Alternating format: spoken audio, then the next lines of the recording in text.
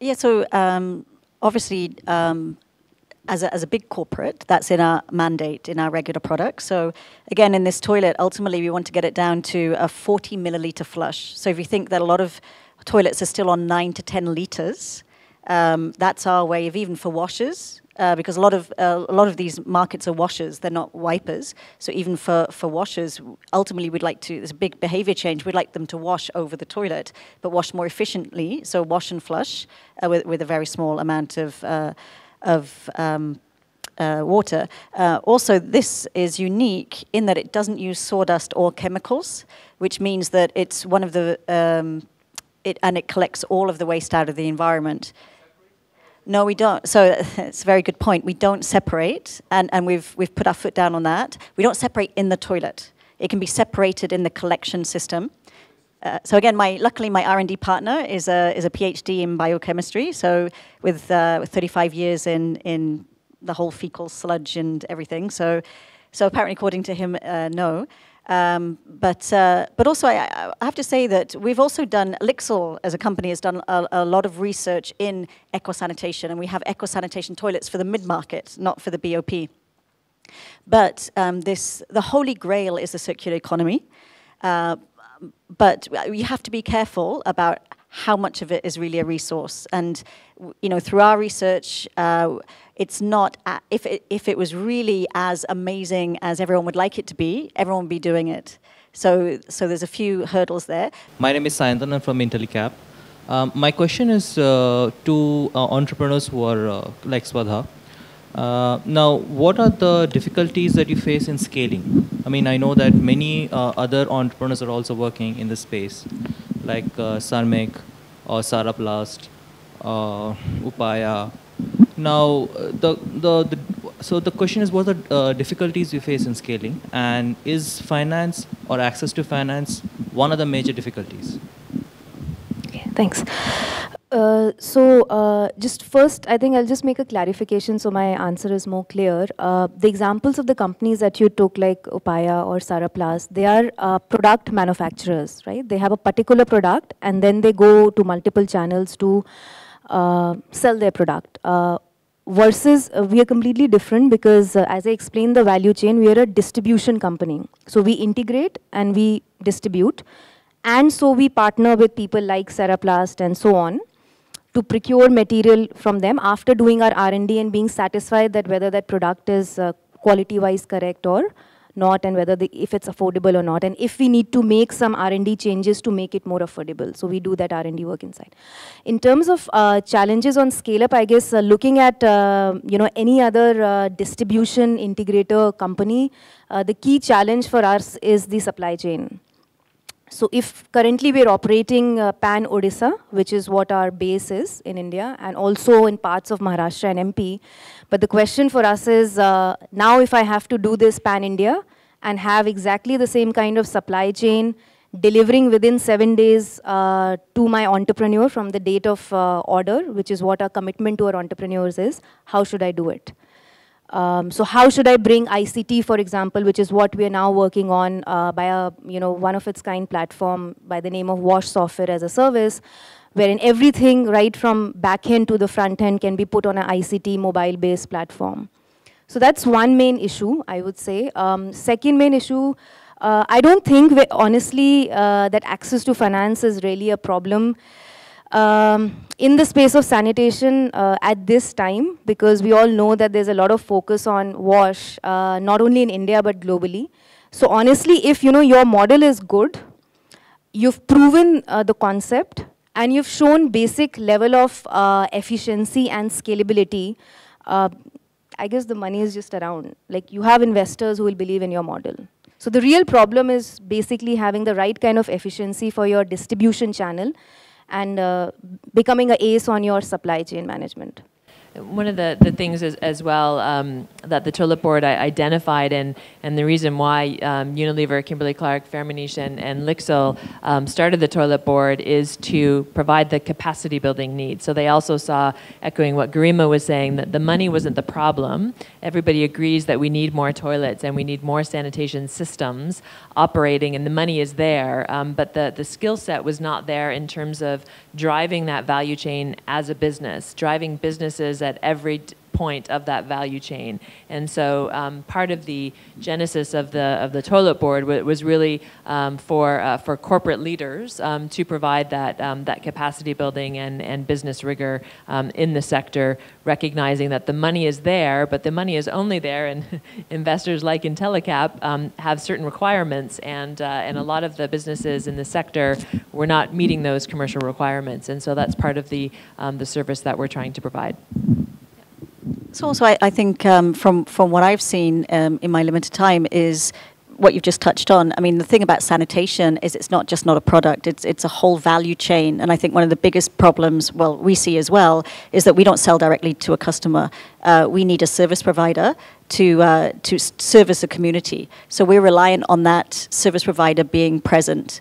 Um, and ideally a big utility, but um, they're very far and few between, for example. And I think um, I think so far, you know, everyone has worked in silos. It's been very disconnected, and I think that's, from my perspective, the biggest issue to scale is how do we get everybody together at the same time on the same platform to work together um, as a package. And I think until we do, there's always going to be a problem in scaling quickly in this area from a, a, business perspective, uh, you, you look at the, uh, the consumer segment um, that, uh, that, that fits your product or the, you know, the, the, uh, the segment that is, uh, is most likely to uh, desire your product.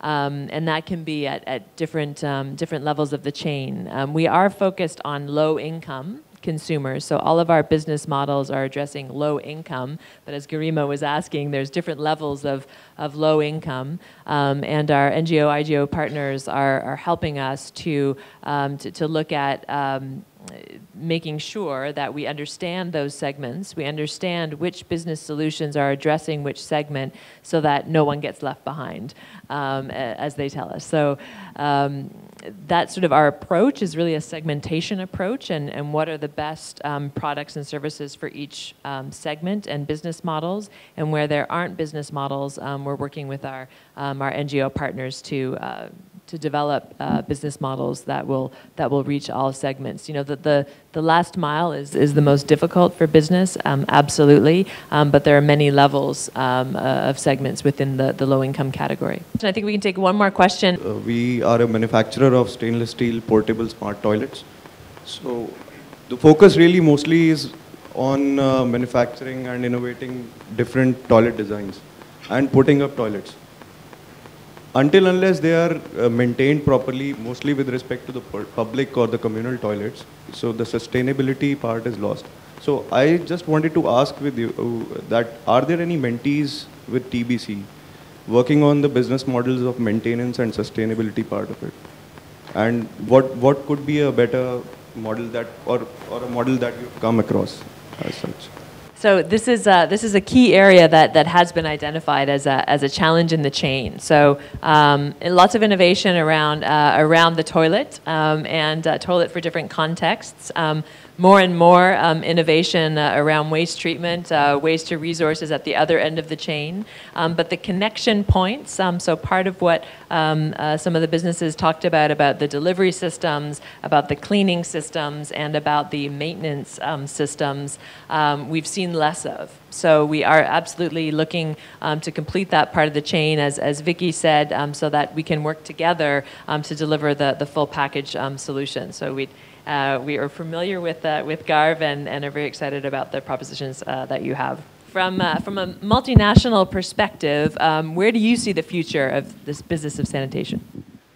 Uh, before I begin there, yeah, uh, before I begin answering your question, we see a lot of things moving in terms of sanitations whenever we get most of the projects. And like I said, cleanliness is one of the most important aspect for customers in every category.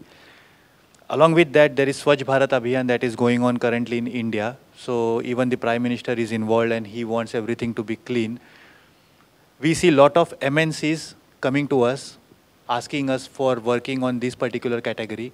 So for us, I think it's a win-win situation from both the ends because working with you, working with TBC, we will know which of our technologies are really effective, which of them will really work. We will have a lot of learnings. The same learnings we can incorporate in some other projects where we can share the knowledge with them. And overall, I think going forward, a lot of learnings, a lot of potential that we see in uh, future of Firmenich. Thank you. Thank you, Giri. Uh, Mr. Rajan, where do you see the, the future of, um, uh, of sanitation in, um, in Bangladesh and beyond for plastics? We have just started in sanitation, although we have been doing SaTo pan for four years now. Uh, the volume is so big that uh, we are not able to reach to every place. Uh, now, not only the SaTo pan thing, now we are into superstructure as well. So we need support from TBC, we need support from Firmenich, Lixil, so that we can have a sustainable, long-lasting solution in toilet sector. So there is a big potential. We have just started, so we need everybody's support to go about it. There is a uh, success in um, uh, American standard SaTo pan, so that will repeat in this uh, superstructure as well. So we are positive on this, and there is a great, great potential for going through with TBC, uh, Lixil, and Firmenich with us. Thank you. I think the, thing about, about this is, is it's endless. I mean, nobody really knows huge potential, but really how, how much can you realize? So I think if I limit it just to our invention now um, and the short term, because of course everyone talks about the, the lovely hockey stick. So before the hockey stick goes off into the stratosphere, um, I'd like to see um, a revenue stream of about $10 million within four years. Um, so for Swadha, our short-term, uh, you know, focus is uh, to aim at breaking even uh, by mid next year, um, both from company's perspective and also from the entrepreneur's perspective in terms of reducing our attrition rates uh, to a single digit. Uh, the medium-term goal, uh, which we've already starting working on, is to go global in terms of trying and see how this model can be uh, adopted by other players and other countries uh, for them to replicate the model. So for example, we've already, we're in talks with few uh, businesses in Africa and also in Haiti uh, to see how, uh, you know, this model gets accepted uh, in those areas. Thank you, Garima. And uh, I'm Canadian uh, originally, so I, I, love the hockey stick uh, reference. and certainly in terms of the business of sanitation, we love the hockey stick uh, reference. Um, and uh, just from the, the Toilet Board Coalition's perspective on the future um, of the businesses that, that we're looking at now, um, affordable housing um, is, a, is a focus for us um, going into the future. We're looking for uh, large-scale affordable housing projects that have had trouble um, with the sanitation aspect, and we've learned that many of them do.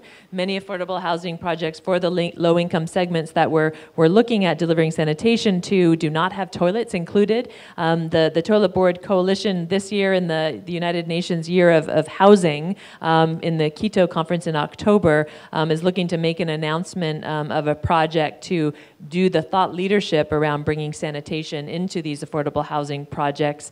Um, and so if, uh, if there are some builders in the room, um, we want to speak to you. Small scale uh, waste treatment. Um, waste treatment systems are, are big, cumbersome, and expensive. Um, we need to make that work differently um, for these markets, and there's a lot of innovators working on this. Um, we have a, a, cohort of 12 that we're looking at now, but um, there, there's more to be done, and there's some connection points as has been identified that still need to be made. We're looking for you um, digital, uh, mobile for sanitation. Who would have thought we could bring um, digital into the bathroom? But we all know that we do. so um, we are looking at um, digitizing uh, the sanitation sector from the beginning. It's a nascent sector now. The opportunity is now to leapfrog to digital. Um, there's a lot of interesting opportunities um, uh, borrowing from sectors like, uh, like solar, pay as you go um, uh, solar, um, uh, borrowing from understanding uh, aspirations and what is driving people. Uh, if we can uh, drive people, uh, more people have mobile phones than uh, than toilets. If we can drive people to phones, uh, we need to be able to drive people to toilets, and, and why not use digital to do that? Um, sanitation marketing um, as well. There's a demand issue around sanitation, so not everybody. Um, uh, wants sanitation, and uh, we need to um, to change that. And the circular economy. This is this is all about connecting all of the dots. Um, we've been talking about the opportunities to use the waste um, in biogas and, and biomass, but um, we have a, a, circular economy team now that is looking at um, all kinds of business models um, that uh, that could be developed throughout the sanitation value chain that we haven't even thought of yet. So we're looking into all of these areas areas, if, if you're a business person that is working in any of these areas, um, we want to work with you and, and fill out the chain. So um, thank you very much. So some people don't want sanitation as it is now is is the key. I think everybody wants sanitation, but the trouble is I wouldn't have some of the san- I wouldn't have a lot of the sanitation I've seen out there. So it's up to us to to create the sanitation of the future that everybody wants. Change the conversation. I love it. Thanks, Vicky. So if you have more questions, please approach the, the panel and thank you very much. Thank you.